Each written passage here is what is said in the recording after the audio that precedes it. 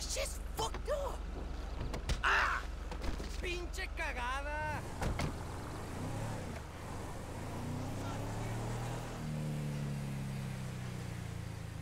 What you crossing for, man?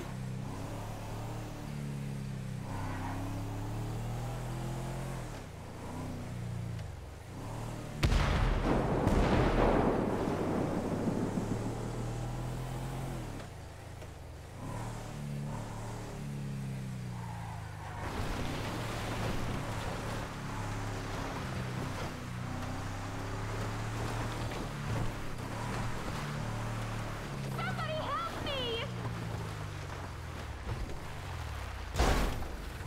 Pull over! Come on! Please!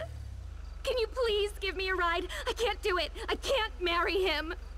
All right, come on. I got you. Just get me out of here, please. I live in Vinewood Hills, Kimble Hill Drive. Oh God, thank you so much. I was starting to think nobody was going to stop. People see a girl screaming in a wedding dress and they assume crazy. He's the crazy one, not me. Talk about anger issues. Oh my God, no, I Whatever, girl. Shit, it's a free country. You got it. I should never have let it go this far. Oh God, what's my dad going to say? He spent 10 grand just on ice sculptures for the reception. We had these cute little cell phone covers made with our photo on them. It was going to be so fabulous. Yeah, that's dumb luck right there. Oh, yeah, yeah. It sure sound like it. Oh God, I hope they don't make me give back the gifts. Ugh, whatever. Anything to be rid of him. And at least I lost all that weight. Damn, what did you even see in that guy?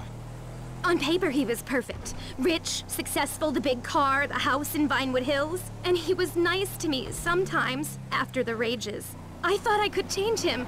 Are you married? Hell nah. And listening to you, I ain't in no damn rush neither. And I know he did some hooker on his bachelor party, but he just kept smiling and talking about his stupid bro pass. You know, he told me once that infidelity doesn't count out of state. Well, guess who's got the honeymoon tickets? Two can play at that game. I might even get pregnant. I'll have some Greek waiter's baby. See how he likes that. There was no way I was having kids with that Neanderthal. The thought of perpetuating his DNA, ugh, I couldn't do that to the world. Damn. And you got over this fast.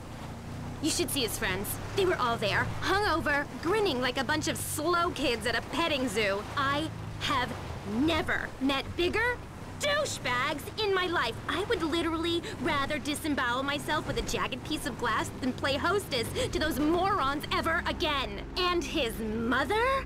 Of course I could never live up to her, could I? The way he ran around after her, her and her prolapse. I seriously think some weird stuff went down with those two. I bet he used to bathe her. Wow. You tell it like it is, don't you? Anyway, I, I don't want to talk about him anymore. I just want this all to be over.